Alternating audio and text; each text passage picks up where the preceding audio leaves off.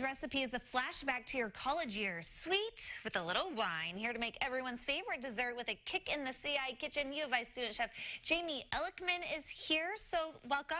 Thank you. I am smelling wine actually now that I mentioned that. So what are we making today? Today we're making a red wine fudge brownie. It's part of my Drunken Brownie senior dessert. And um, it's going to be topped with a red wine whipped cream and also amaretto soaked strawberries dipped in chocolate. Oh my word. So this is all in anticipation of your big spice box meal. Mm -hmm. Tell me a little bit about what you have planned for your meal. Um, so each course of the menu is a year in school. So from freshman ranging from cinnamon butter, trying to stay calm, all the way up to the senior drunken brownie uh, with a few fun hints in between. Okay, so uh, the cinnamon is a tie to, to being calm? Correct. And then the next one, the sophomore, is that I need a salad. So um, trying to eat healthy when you're a sophomore. Oh, my word. Mm -hmm. This sounds so fun. What was your inspiration? How did you come up with this? Um, so I just think that college is really transformative, you know, thinking from being in the dorms to getting your own apartment, finding a job. So I wanted to look back on it and um, bring the community in with yeah, me. Yeah, I love it. So how do you decorate for this type of um, type of dinner? So we have different cork boards all around the room, and each board is going to be um, a year in school and also study abroad. We have favorites around town. A student is where the students in my class will actually write words that describe students. It'll be really cool. It's going to be so fun. I can mm -hmm. just tell. So let's get started on these um, red wine fudge brownies. So what do we need to do to get started? Okay, so I'm going to grab the bowl over here. Okay. Thank you. You're welcome. Um, so first we're going to add in about a cup of the all-purpose flour. Okay. Did you come up with this recipe yourself? I made a few tweaks to it to right. um, get used to the wine inside of it. Oh, so yeah. a little more dry. Okay. Um, and then we're going to add about three quarters cup of cocoa powder. Okay. In it goes. Thank you. And then we're going to go on to two cups of sugar. So this is a sugar lover's dream. Right. So let's not be counting calories uh, the night of your meal. No, no, no. It's after Valentine's Day, so we're okay. Yes. Um, and then we're going to do about a quarter teaspoon of iodized salt.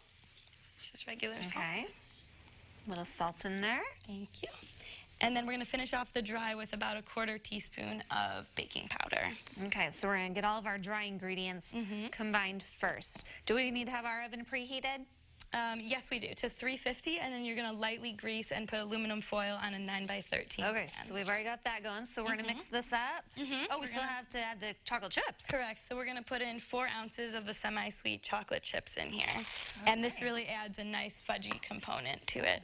Okay. Um, so now, actually, we're going to mix at the end, oh. so we're going to put in the three large eggs. Why do they always say you need to mix your dry ingredients before your wet ingredients, and then now we're not? Is that...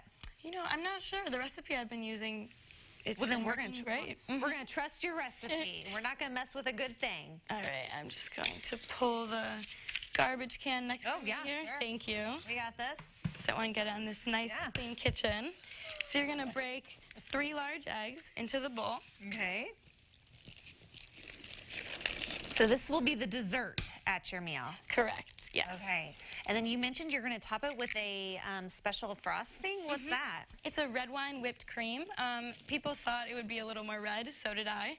Um, but you can really taste it um, in the whipped cream, so it's really nice. Mm, okay. All right, so now we're going to go on and put in about a quarter cup of vegetable oil. Okay. Now we're on some more wet ingredients. Mm -hmm. And we're going to do um, about a stick of unsalted butter, melted. Okay. It's looking yummy so It far. is. It smells so good in here, and we haven't even started baking yet. and then we're going to do two teaspoons of vanilla extract. This makes it really nice and sweet. And now we got to get these babies drunk, right? Mm -hmm. And let's get it drunk with um, lots of wine. It's about four and a half fluid ounces of wine. So we're using a red wine. Does the is the wine important? What what kind we use? Um, no, it's not really important. Okay. Mm -hmm. So we're gonna let you mix this up. We're okay. gonna bake these up for how long? Um, you're going to bake it for about 20 minutes in the oven. Okay, we're going to put these in the oven, and it's Chef um, student Chef Jamie Elekman. There's a look at her upcoming Spice Box meal in case you're interested in coming and checking it out and supporting all of our great students there at the U of I. We've got the details on your screen, and we'll have them on CILiving.tv after today's show. Stay tuned for the big reveal.